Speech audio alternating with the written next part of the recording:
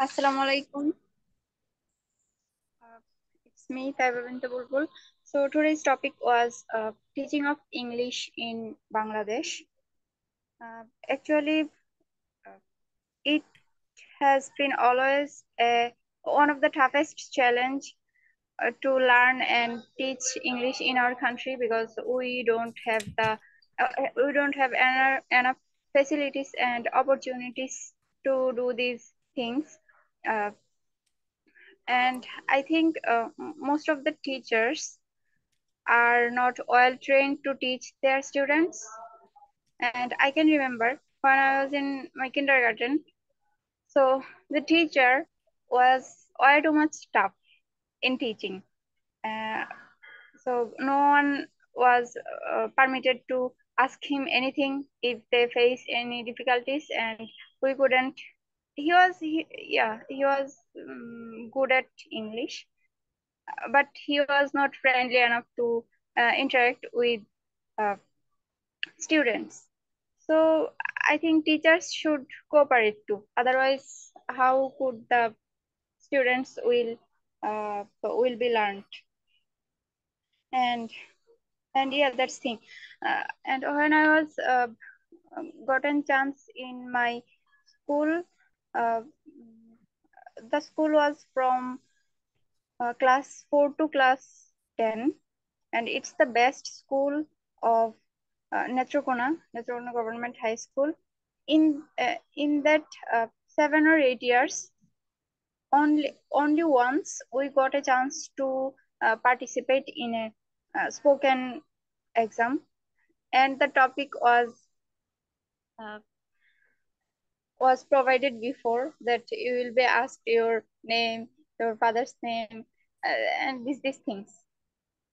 And only once we are uh, uh, we faced a uh, we faced these types of things. Uh, I mean, uh, spoken English type things. So so we are not provided enough facilities to practice, and that's how we are not uh, enough we had not enough chance to improve our english skills so that's it and uh, and even even now uh, in my department i thought every department uh, in public universities or every department in universities uh, provide a lot of presentations.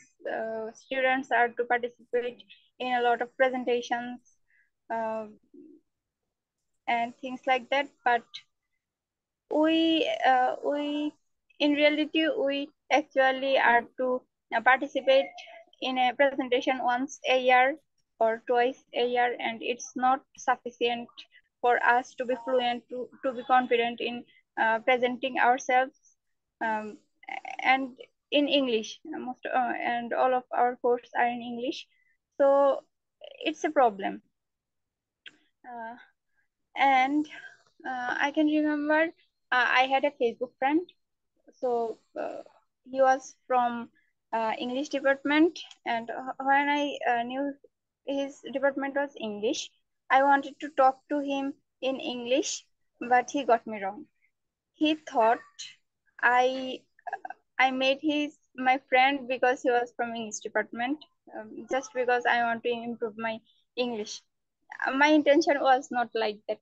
So I faced some problems and uh, in my department, I made some friends. I requested all of them to uh, practice spoken with me, but they all made fun of me so yeah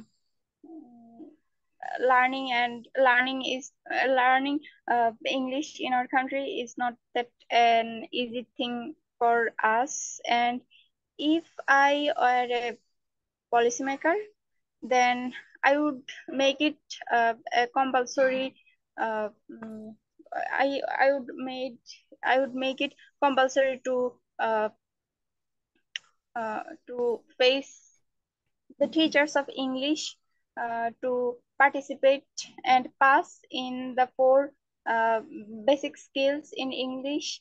Uh, these are speaking, listening, writing, and reading. And most of the teachers, and uh, if the teachers uh, would pass, then he, he will be able to be an English teacher.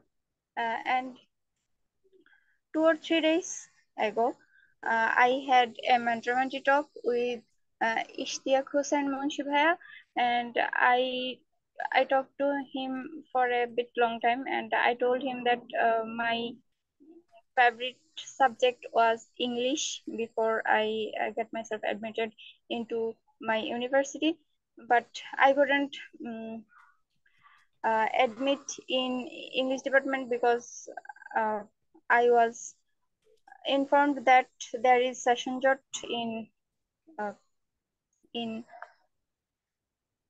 in English department. So Bhaiya said that that in other countries, Prashant uh, uh, mentioned that too that in our country English is a subject and there there are a lot of formalities and uh, they organize many things uh, to teach English but they do not uh, take it seriously or they cannot provide enough uh, facilities to teach the students. But in other countries uh, english is just a language.